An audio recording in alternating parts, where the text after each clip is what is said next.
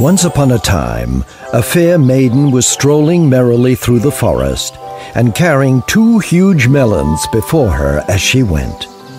A sinister thief was lurking by the side of the path. He had a massive sack and was holding his thick, hard cudgel in his hand. Give those here, the robber cried out. And when the maiden saw his bludgeon, she had to swallow hard. Suddenly, out of nowhere, a knight came riding up fast. He had the longest lance in all the land, and valiantly put the robber to flight. Ah, oh, my savior, breathed the maiden, and to show her gratitude, let him taste her plum fruits. He devoured them with such abandon that the juice squirted in all directions. Then he took the maiden on a long, hard ride, all the way to his abode.